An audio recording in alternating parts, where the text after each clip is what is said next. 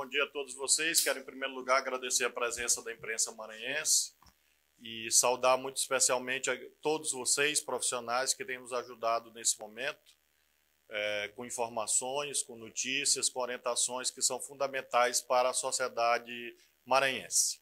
Essa coletiva é determinada pelo fato de termos tido, na noite de ontem, às 21 horas e 50 minutos, a confirmação do primeiro caso, a confirmação científica em laboratório, é, da ocorrência do novo coronavírus no Maranhão. Esse caso é, foi identificado, é uma pessoa que está sem sintomas graves, encontra-se em isolamento domiciliar, ele e a sua família. Temos também um outro caso fortemente suspeito, ainda não confirmado definitivamente, mas com, aí sim com sintomas. Ele se encontra nesse momento na UTI do Hospital Carlos Maceira desde o dia de ontem. Então, nós estamos lidando concretamente com um caso com 100% de confirmação e um caso fortemente suspeito, o primeiro em isolamento domiciliar, ele e a sua família, e o segundo uh, em tratamento no Hospital Carlos Macieira. Uh, e o paciente do segundo caso se encontra em estado estável nesse momento, ainda que, evidentemente, com gravidade. Todos os procedimentos médicos que têm sido é, recomendados foram adotados pela equipe do Hospital Carlos Macieira. Esse fato leva que nós tenhamos uh, a necessidade de adoção de novas medidas, não só por parte do governo do Estado, mas também das prefeituras, aqui representada pela Prefeitura de São Luís, e nós estamos, portanto, fortalecendo as ações preventivas. Nós acreditamos que isso cabe a todos, é um momento de união nacional. Há, nesse instante, uma, infelizmente, um debate acerca da atuação dos governos estaduais em face de omissões do governo federal. Nós acreditamos que não é o momento de haver disputas políticas ou ideológicas desse tipo.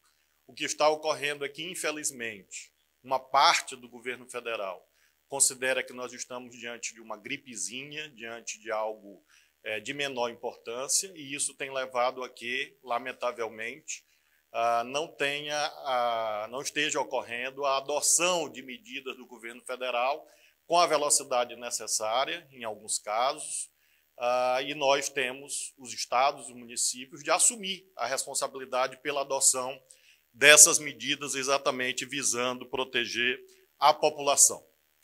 faço questão de mencionar que temos, por parte do Ministério da Saúde até aqui, um clima de diálogo e de entendimento tanto com o governo do estado como também com as prefeituras municipais e nós, nós desejamos que outros órgãos federais adotem a mesma postura que o Ministério da Saúde tem adotado. Nós já havíamos anteriormente determinado a suspensão das aglomerações, grandes aglomerações, também das aulas. Uh, tentamos judicialmente a interrupção das atividades do aeroporto, dos aeroportos, Infelizmente, a Justiça Federal negou esse pedido do governo do Estado. Começamos na manhã de hoje as operações visando ao controle de transporte interestadual de passageiros em ônibus. Já começamos isto por atuação da Polícia Militar. Determinamos o isolamento domiciliar compulsório de todas as pessoas que tenham sintomas de gripe por 14 dias e fizemos o decreto de calamidade pública. Neste momento, estou editando um decreto que trata sobre interrupção de atividades comerciais de um modo geral, lojas, shopping centers e similares. É, há uma ressalva no sentido de que os municípios podem dispor sobre as suas peculiaridades locais, porque são 217 cidades, mas a determinação estadual é nesse sentido da interrupção das atividades comerciais, com exceções dos serviços essenciais, é, marcadamente aqueles de comércio de alimentos, esses não serão paralisados, combustíveis também não serão paralisadas, é, paralisados, também como as atividades relacionadas à saúde, laboratório, hospitais, naturalmente esses continuarão a funcionar. Os órgãos públicos estaduais serão paralisados, aqueles não essenciais, vão continuar apenas aqueles essenciais, a exemplo da própria Secretaria de Saúde, da Secretaria de Segurança e assim sucessivamente. A função dessas medidas é diminuir a circulação de pessoas. Basicamente é isso que nós estamos visando agora. Ampliar as medidas de distanciamento social, é muito importante frisar isso à sociedade, porque essa é a prevenção mais eficiente. Toda a literatura internacional nesse momento mostra que quanto mais distanciamento social entre as pessoas, quanto possível, isso determina a diminuição da curva de proliferação do coronavírus, e isso é vital para garantir a capacidade de atendimento das redes de saúde, uma vez que se a curva for muito íngreme, ascendente muito rapidamente, pode haver, inclusive, uma sobrecarga insuportável do sistema de saúde, como nós estamos vendo em outros países. Então, é muito importante frisar que nós visamos diminuir a curva de transmissão para que o sistema de saúde possa suportar os casos que normalmente já é, precisam dos serviços hospitalares e também as demandas acrescidas, eventualmente, face do coronavírus. Sobre bancos, eu recebi uma notificação do Banco Central dispondo que é, atividades bancárias dependem exclusivamente de decisão do governo federal. A princípio, e vejam, a princípio, eu coloquei no decreto que nós vamos aguardar a atuação dos órgãos federais. Ou seja, sobre bancos, sobre aeroportos, nós vamos aguardar aquilo que o governo federal diz que vai decidir. Evidentemente, se ao longo da semana houver omissão do governo federal e houver também o agravamento do quadro sanitário, eu irei reexaminar inclusive porque consideramos que se houver omissão do governo federal, o artigo 23 da Constituição autoriza o governo do estado e também as prefeituras a agirem subsidiariamente, ou seja, para suprir as lacunas derivadas de eventual inércia é, federal. Então, objetivamente, a princípio, não há determinação minha, nesse momento, de que os bancos paralisem na segunda-feira, Vamos aguardar o que o governo federal decide a esse propósito. Sobre leitos hospitalares, faço questão de lembrar que a imensa maioria dos casos ah, de coronavírus não demandam internação hospitalar. A, a estatística internacional é que 80% aproximadamente dos casos são tratados em casa, porque as pessoas não desenvolvem sintomas graves. O que nós fizemos? Nós estamos ampliando a oferta de leitos, tanto de internação normal, como também de leitos de UTI. Falando apenas do governo do Estado, nós, nós temos neste momento mais de 100 leitos de UTI bloqueados e disponíveis para coronavírus.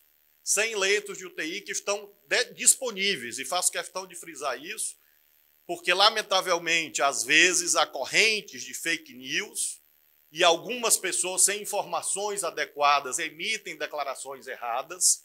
Neste momento, nós temos na rede estadual e temos também na rede municipal e na rede particular outro, outros tantos leitos de UTI mas apenas na rede estadual nós temos mais de 100 leitos em todas as regiões do Maranhão, nos nossos hospitais regionais e macro-regionais.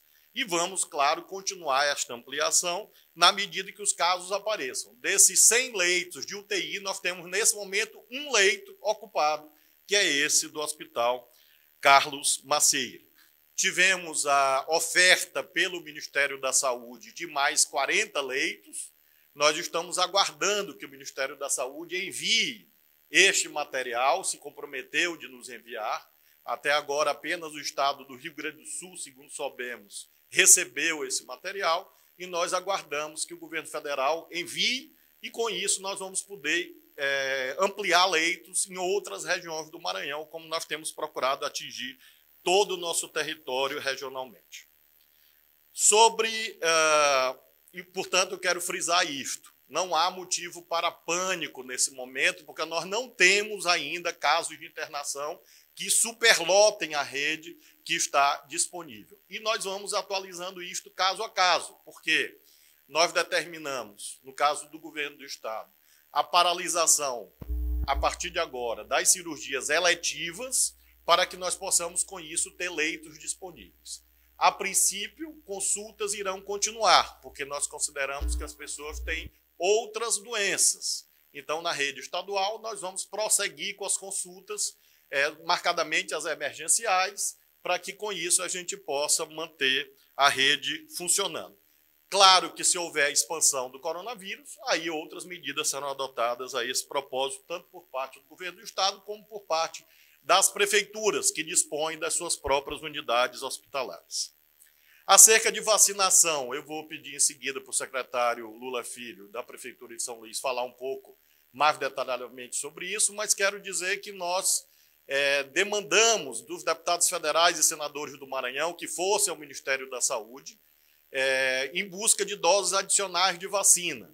Conseguimos uma pequena ampliação, estamos lutando para que o Ministério da Saúde envie mais vacinas. É importante lembrar que esse é um sistema articulado. O Ministério da Saúde compra, repassa aos estados, os estados entregam aos municípios. Então, o secretário é, Lula Filho pode detalhar isso em relação ao município. E nós continuamos apelando para que haja mais vacinas que são úteis para o H1N1. Essa vacina não se aplica ao novo coronavírus, mas é importante para o H1N1 e em face dessa ampliação, é, nós teremos a vacina, o início da vacinação na segunda-feira. O secretário Lula Filho depois pode passar mais detalhes. Faço apenas um apelo, sem pânico. Nós temos nesse momento, para os grupos de risco, idosos e crianças, uma oferta de centenas de milhares de doses de vacinação e o Ministério da Saúde se comprometeu a mandar mais doses de vacinação para que a gente possa prevenir situações é, na próxima segunda-feira. Finalmente, peço a ajuda de toda a sociedade para não divulgar, sobretudo, áudios de WhatsApp, porque isso não ajuda, isso atrapalha isso difunde informações falsas. Não quero discutir se as pessoas são bem intencionadas ou não, não quero discutir isso. O certo é que isto objetivamente conduz à disseminação de notícias que atrapalham a atuação da sociedade, sobretudo dos profissionais de saúde. Então, nós temos transparência absoluta. Não há nenhuma determinação e nem poderia haver por parte do governador ou de qualquer outra autoridade que haja omissão de casos ou algo parecido. É, porque isso, inclusive, seria impossível. Então, todos os casos confirmados estão sendo comunicados oficialmente, assim como os casos é, suspeitos, os casos que estão aguardando é, definição laboratorial. E, finalmente, quero fazer uma homenagem muito viva muito comovida aos profissionais de saúde do nosso Estado, porque nós estamos vendo é, em muitos é, estados e muitos países situações limites, e até aqui eu faço questão de registrar que nós contamos com uma colaboração decidida e comovente dos profissionais de saúde do Maranhão. É, tenho é, reunido pessoalmente com tais profissionais, tenho eu mesmo visitado unidades hospitalares, conversado com esses profissionais de saúde. São pessoas como nós que estamos nesse momento nessa coletiva e aqueles que nos acompanham, mas não têm se recusado a cumprir seus deveres cívicos e profissionais e merecem o nosso é, reconhecimento social, porque, claro, todos nós temos críticas aos sistemas públicos de um modo geral, inclusive ao sistema público de saúde, mas é em momentos é, de crise, de dificuldade, que nós estamos vendo que esse sistema é imprescindível, porque se ele não existisse, aí sim nós estaríamos vivendo uma situação de caos absoluto. E neste momento, há profissionais de saúde tratando de casos graves e estão lá com os equipamentos de proteção é, individual, os EPIs que nós estamos destinando, mas com muito, sobretudo com muita seriedade, muita, muito amor no coração. Então eu peço que haja por parte dos maranhenses é, um reconhecimento do papel dos profissionais de saúde e aqueles de acordo com a sua fé. Rezem e orem por esses profissionais de saúde, porque nós precisamos deles. O papel das autoridades públicas é coordenar esse trabalho, mas quem executa concretamente são aqueles que estão nas nossas unidades hospitalares e eu quero manifestar, em nome de 7 milhões de maranhenses, a minha gratidão a esses profissionais de saúde pelo que já estão fazendo e por aquilo que eu tenho certeza vão continuar a fazer. Obrigado.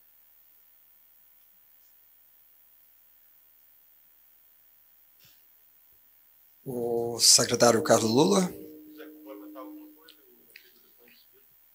Bom dia a todos. Eu queria complementar só em relação a, aos pacientes. Ontem a, o governador falou do paciente que a gente tem no Hospital Carlos Maceira. Ele não é caso confirmado. Tá? Um paciente de 59 anos. A, o painel viral dele deu todo negativo. Então a gente está esperando a confirmação do exame do coronavírus. É um paciente que está estável. Tá? Toda a família também vai submeter ao teste, à testagem, e já está isolada. Em relação ao caso confirmado, ele tem sintomas leves, está em casa, ele veio de um voo de São Paulo, se submeteu à quarentena, fez o teste no nosso centro de testagem e a ele seus familiares, todos os familiares com quem ele teve contato, todos eles estão em isolamento e serão novamente testados. A esposa a, também fez o teste, deu negativo. Esse teste vai ser repetido para ver se há uma contraprova para confirmação ou não do caso dela. De todo modo, a, essas são as informações que a gente poderia dar, até para preservar o sigilo dos pacientes. E a gente tem certeza que o sistema ele está pronto. A, o governador ontem anunciou que a gente tem mais 30 leitos de UTI, que a gente vai equipar mais no hospital HCI, que a gente está montando já para voltar ao hospital exclusivamente para o coronavírus. Né? Ele vai começar a funcionar já na segunda-feira. A gente está em regime de mutirão a, lá no Hospital HCI. Ele fica atrás do Roque Santeiro, próximo ao Hospital São Domingos. São 100 apartamentos, mais alguns leitos de UTI. Então, a princípio, a gente pode equipar ele completamente só para o cuidado com o coronavírus. Bom dia a todos, bom dia governador, bom dia secretário Carlos Lula. É, antes de entrar no tema vacinação, gostaria de reforçar e assinar embaixo duas falas do excelentíssimo governador. Primeiro, não precisa pânico. Nós estamos todo dia trabalhando, monitorando e com as equipes avaliando cenários e impactos para o pior cenário possível. É essa a realidade que estamos trabalhando. Mas precisa sim toda a cautela da população, toda a adesão da população. É preciso isolamento domiciliar. Nenhum esforço que estamos fazendo será, será suficiente se a população não fizer sua parte. Tem aniversário hoje marcado em condomínios. Condomínios estão fora da nossa jurisdição. Para que aniversário no momento desse reunir pessoas? Tem pessoas jogando bola uma hora dessa na praia. Para que sair de casa para jogar bola nessa hora? É preciso levar a sério. É preciso isolamento domiciliar. Sem isolamento domiciliar, todo o nosso esforço pode ser em vão. E a gente conta com a população. E o segundo ponto, governador, que eu quero parabenizar pela, pela sensibilidade tanto eu quanto o secretário Carlos Lula falamos todo dia. Se não tivermos, se tivéssemos a equipe que temos na saúde, esse nosso desafio seria muito maior. Então, graças a vocês, cada um profissional de saúde que está sim receoso, que está sim com medo, mas mais do que isso, tem seu senso de missão, acima de tudo, prevalecendo nesse momento. Conte com o nosso suporte, conte com o nosso apoio, porque a gente conta com vocês. E graças a vocês, a gente está indo para essa luta com muito mais confiança. Então, dito isso, eu quero entrar no tema imunização. A campanha nacional, como o governador falou, é uma articulação dos, dos, das três esferas. Muitas pessoas perguntando por que, que a gente limitou a idade de crianças, por que, que a gente limitou público-alvo, por que, que a gente não vacina professor agora. Quem define calendário é o Ministério da Saúde, que repassa doses para os municípios, para os estados, de acordo com a quantidade de habitantes dentro, da, dentro daquele perfil-alvo que repassam para os municípios obedecendo os mesmos critérios. Se a gente fosse vacinar todos que querem e precisam, as doses acabariam no primeiro dia, deixando muita gente que realmente precisa sem a dose. O governador, numa atitude acertada, articulada com a bancada do Maranhão, solicitou ao Ministério a antecipação de crianças que estava previsto para 9 de maio, na terceira etapa. E dentro do clamor que a gente percebe na sociedade hoje, os pais preocupados com o filho, porque a gente sim tem muitos casos de H1N1 hoje, 28 confirmados, o que é um número importante a ser considerado. O governador solicitou que nós aqui no Maranhão antecipássemos as crianças de 9 de maio para 23 de março, que foi o que foi feito e amplamente divulgado. Então, o público-alvo a princípio, que seriam idosos a partir de 60 anos e profissionais da saúde, ganhou também crianças de seis meses a menores de seis anos. O que é que isso acarreta? Só esse público de crianças são 86, 85 mil pessoas em São Luís. São Luís recebeu 85 mil doses para a primeira campanha. Então o Estado pediu reforço. A União já mandou uma parte do reforço, mas é preciso mais e nós faremos essa, essa gerência junto ao Ministério da Saúde para receber mais doses nós teremos vacina para todos os públicos-alvos. Nós temos, e eu quero deixar bem claro isso, dois meses de campanha. Não precisa a população se desesperar e correr todo mundo para os postos de saúde nesse primeiro momento. Porque isso vai gerar exatamente um efeito contrário do que a gente está prevendo. A vacina, a campanha de imunização é para proteger as pessoas. Se todo mundo sai de casa no mesmo momento, a gente expõe ao risco milhares de pessoas que podem, em vez de sair protegidas, saírem infectadas. E é isso que a gente não quer. Então a gente faz um apelo à população. São dois meses. Temos 68 salas de vacina em São Luís.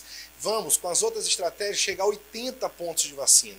Montamos equipe para vacinar pessoas acamadas que não podem sair para vacinar, pessoas com dificuldade de locomoção que também não podem sair um posto de saúde. Estamos fazendo parceria com farmácia para que possam vacinar em áreas que a gente não tem UBS. Já começamos agora segunda-feira com duas farmácias, a Pague Menos do João Paulo e a Pague Menos do, do Coutinho ali Anil, próximo daquele ecoparque. Além disso, também estamos montando um sistema de drive-thru. Só fechando o local para a gente divulgar. As pessoas vão poder ir nos seus carros, desce vacina, entra no carro e sai. Então podemos ter fila de carro, mas sem o contato muito próximo das pessoas. São uma série de estratégias que estamos trabalhando junto com o governo do estado para que a gente possa fazer a maior quantidade possível de oferta de possibilidades e diminuir a quantidade de pessoas na rua. Então refaço o apelo: não saiam de casa todos no mesmo momento quase todas as nossas unidades nós estamos vacinando em salas diferentes, crianças e idosos. Só não conseguimos em algumas que não tinham sala disponível. Mas quase todos estão separando. Além disso, escolas que estão sem aula, a gente já está começando a montar estrutura também com a equipe do Estado para que a gente possa usar a, a, aquela unidade escolar para ser ponto de vacinação. Então, todas as estratégias estão sendo montadas pelas duas equipes de imunização do município imunização do Estado para que a gente oferte a maior possibilidade possível. Mas se não tivermos apoio da população, mais uma vez, vamos expor todos aos riscos. E a melhor maneira, a, talvez a única maneira da gente não ter a curva ascendente que tem hoje em quase todos os países, inclusive no Brasil, é isolamento social. É isso que a gente tem pedido a todos. Por favor, fique em casa. Se o governador acabou de anunciar o decreto de fechamento do comércio, Lógico que é uma escolha muito difícil para qualquer governante. Lógico que é uma escolha difícil para qualquer gestor público. Colocar em risco a economia de uma cidade, de um estado, mas é porque a saúde pública está em primeiro lugar. Então, empresários, é hora de utilizar a criatividade. As pessoas vão estar em casa e precisando de uma série de serviços, deliveries, o que for montem estratégia. Não estamos quebrando o comércio, não podemos ser acusados de estar quebrando a economia. Nós estamos protegendo a população, que é o nosso papel nesse momento. Obrigado. Vamos abrir agora para as perguntas. E por ordem de inscrição, nós temos a TV Cidade, a jornalista Vanessa Fonseca. Bom dia a todos. É, na verdade, eu só queria saber a questão de dados atualizados tanto de casos suspeitos e descartados da Covid-19 aqui no Maranhão. O boletim vai ser divulgado ainda hoje pela manhã, logo após a entrevista coletiva, como eu estava fazendo durante todos esses dias, certo? Nós temos aproximadamente 230 casos suspeitos, suspeitos no estado. E mais de 130 descartados. Mais de 130 descartados. E um é, confirmado. E fazendo questão de dizer que os casos são investigados diariamente. Nós temos o laboratório é, central, e nós temos também o, apoio do Instituto Evandro Chagas, que é um órgão federal sediado na cidade de Belém. Só para vocês entenderem um pouco em relação à demora na análise dos exames. O governo federal só entregou ontem o kit ao Maranhão. Ele demorou para entregar os kits para que os laboratórios locais pudessem fazer os exames. Então, os nossos exames, o resultado deles não dependem da gente, eles dependem do laboratório Evandro Chagas, que fica em Belém do Pará, que faz todo o norte e parte do nordeste. Então, à medida que o, o Ministério da Saúde entrega os kits para os laboratórios locais, é que os laboratórios locais podem começar a iniciar a fazer os testes a nível local. Então, a partir de hoje, a gente já vai ter condição de ter isso em tempo mais rápido, porque a gente não vai precisar enviar as amostras para o IEC em Belém. Instituto IEC é Instituto Evandro o, o, e, e nós, de fato, como disse o secretário Lula, é, Carlos Lula, nós estamos esperando esses insumos do Ministério da Saúde, porque é quem faz as compras.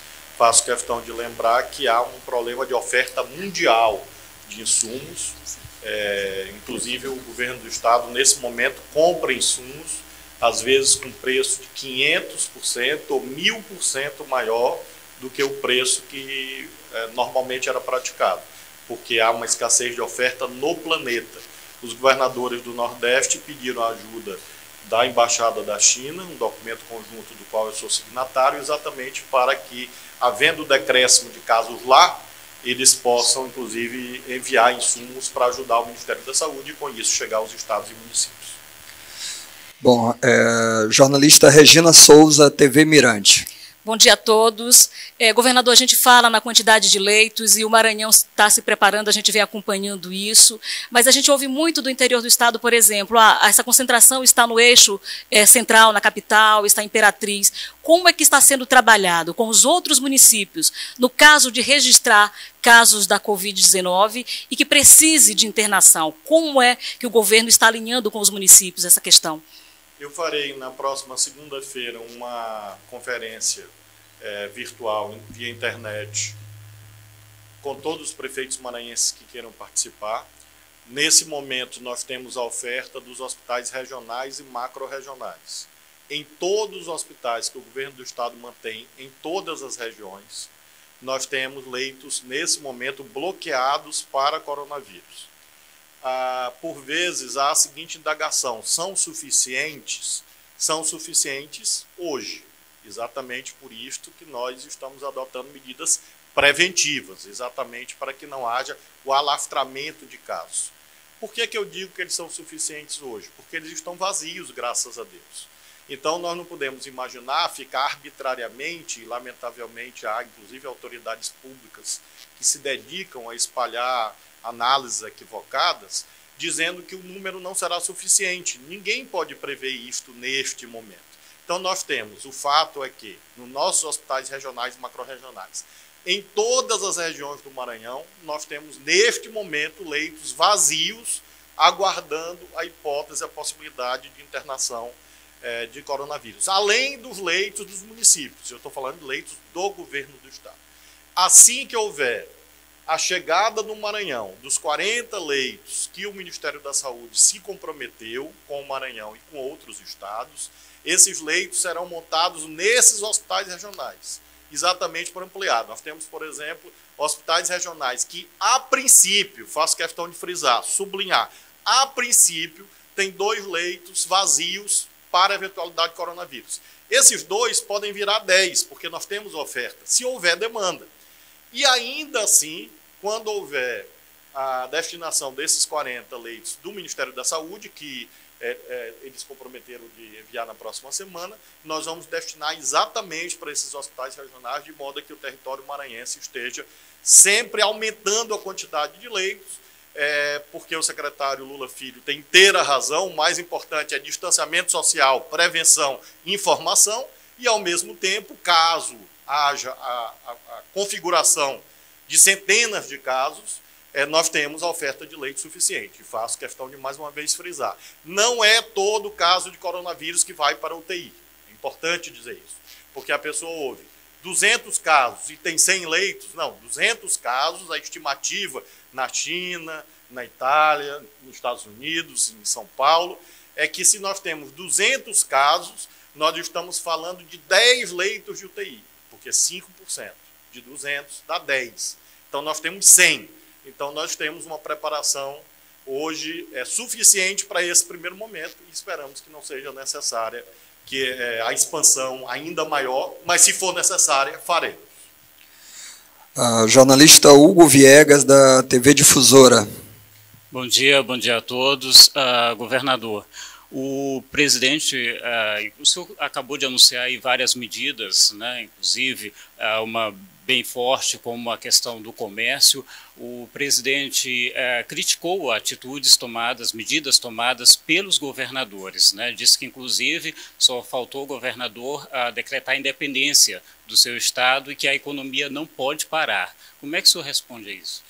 Nós estamos preocupados com a vida das pessoas, porque a economia é importante, porque ela serve as pessoas. Então, a vida é o bem fundamental. Se as pessoas morrem, adoecem, não há economia que resista. Então nós temos que ter hierarquia de prioridades. E nós temos que ter seriedade. O que os governadores, de um modo geral, estão fazendo é suprir omissões que o governo federal deixou em razão das atitudes equivocadas do presidente da República. É, ele, lembremos, fez um voo que trouxe dezenas de infectados aos Estados Unidos sem nenhuma necessidade uma viagem totalmente dispensável e que trouxe o vírus para o coração do poder.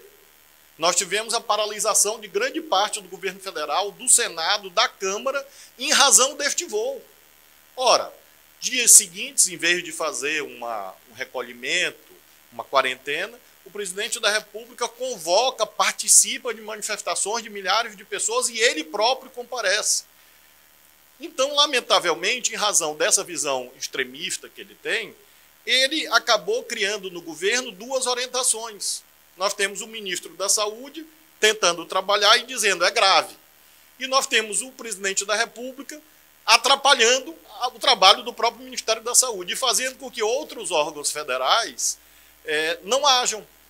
Por exemplo, nós tivemos que entrar na justiça e conseguimos uma decisão favorável para fazer inspeção sanitária no aeroporto, porque é um órgão federal e nós, e nós não tivemos essa autorização. Sem nenhum ônus para o governo federal, é, é dever deles. Nós entramos na justiça para nós cumprirmos o dever deles, que seria fiscalizar é, os passageiros de, de aviões nos aeroportos. Então, o que nós desejamos, os governadores têm dito isto, todos, e eu faço questão de ratificar, é que o governo federal, marcadamente o presidente da República, mude a atitude num quadro é, de crise sanitária e de gravíssima crise econômica daí derivada, é muito é, atípico, indesejável, que não tenha ocorrido até o presente momento nenhuma reunião dos governadores. O, o, o Brasil é um país gigantesco. São 8 milhões e 511 mil quilômetros quadrados, são 27 governos, 5.500 municípios, 5.570 municípios. Então é óbvio que é dever, assim como eu farei na segunda-feira, uma teleconferência, um debate virtual com os prefeitos, nós estamos esperando que o ministro da Economia chame os governadores para discutir medidas econômicas. É, nós estamos esperando que outras autoridades federais que controlam aeroportos, por exemplo, chamem, discutam é, conosco, como o ministro Mandetta tem feito. Nós temos um canal aberto da Secretaria de Estado da Saúde com o Ministério da Saúde. Infelizmente, é uma atitude individual do presidente da República que nós torcemos para que mude, porque nós não queremos fazer disputa política neste momento, porque nós temos responsabilidade. Não é hora de brigar com a China, não é hora de brigar com governadores. É hora de brigar contra o vírus, brigar contra a pandemia. É hora de preservar a saúde das pessoas, cuidar dos profissionais de saúde. Essa é uma atitude patriótica. Essa é uma atitude séria. E é isso que nós estamos esperando que o presidente da República passe a adotar daqui para frente, ainda há tempo. E é dever dele. Dele e só dele. Porque por mais que nós façamos, não podemos fazer sozinhos.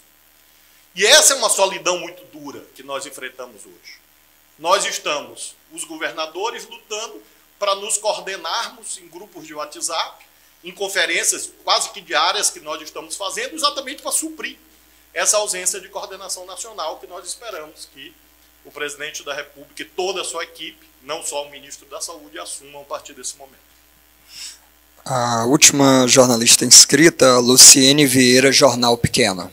É, bom dia a todos. Eu queria fazer uma pergunta ao secretário Carlos Lula.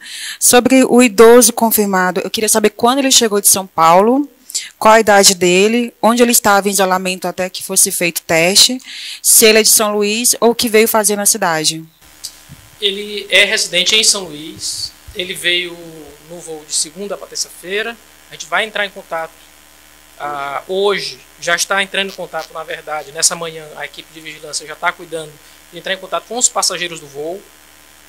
A, a, TAN, a TAN já nos forneceu a lista, a listagem, então a gente está entrando em contato com os passageiros do voo. Ele não teve sintoma, nenhum sintoma grave, ele teve a tosse, a, um pouco de coriza e resolveu permanecer em isolamento domiciliar. Isso foi fundamental.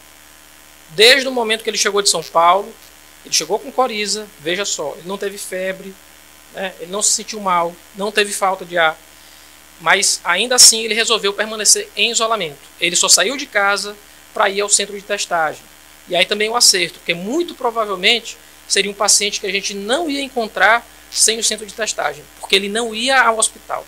Ele não iria ao hospital fazer exame porque ele não teve nenhum sintoma. E aí ele nem o sintoma grave. Ele não iria ao hospital, ele não iria para a UPA.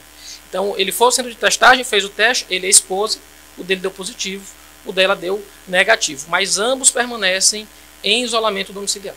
É importante explicar, pessoal, que nós temos duas equipes, como até o secretário Lula Filho disse. Nós temos a vigilância sanitária, que atua na prevenção e no acompanhamento desses casos. E nós temos a assistência, que são os hospitais, os leitos, etc. É, no caso, quando um, uma situação identificada, como esse paciente confirmado, e esse outro fortemente suspeito, a vigilância sanitária passa a atuar em relação ao, paciente, claro, à sua família, e identificar o máximo quanto possível todas as pessoas que com ele tiveram contato. Como nesse caso confirmado se trata de um passageiro de um voo, é, e foi confirmado ontem à noite, hoje pela manhã a empresa aérea nos forneceu a lista, e nesse momento há uma equipe da vigilância sanitária fazendo contato para que essas pessoas compareçam, sejam examinadas e com isso a gente possa também identificar e impedir a chamada transmissão comunitária. O que é a transmissão comunitária? É quando a gente perde o fio da meada. A gente já não sabe, que é o caso que o próprio Ministério da Saúde divulgou que alguns estados já estão assim. São Paulo, por exemplo. Ou seja, ninguém sabe mais quem contaminou quem. Como neste momento inicial nós pudemos ainda fazer a trilha, o caminho, nós estamos lutando para fazer a trilha com o objetivo de o máximo quanto possível isolar todas as pessoas que possam apresentar sintomas e com isso a gente minimizar o contágio. É, esse é o sistema que está em funcionamento e nós acreditamos que ele é um sistema que pode fazer com que a gente proteja e é, é, a, a sociedade e evite a explosão de casos. A nossa luta agora é impedir com prevenção, educação, colaboração da sociedade, isolamento, distanciamento social, vigilância sanitária. O nosso objetivo é impedir que o vírus se multiplique. Se forem poucos casos, a gente vai controlar esses casos, a rede hospitalar vai ser suficiente e a gente vai ultrapassar essa crise, se Deus quiser.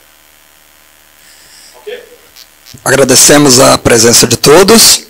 E assim que tiver novas informações, uma nova coletiva será convocada. Um, apenas um pedido é, que eu sublinhar, é, há nesse momento várias correntes de oração se formando nas várias igrejas do Brasil, outras confissões religiosas. Isso é muito, muito importante. É, de acordo com a fé de cada um, é, de acordo com a confissão religiosa, é, nós confiamos no bom senso das autoridades eclesiásticas para evitar aglomerações, mas individualmente, nas suas famílias, é muito importante orações em favor, sobretudo, dos profissionais de saúde do Maranhão. Muito obrigado.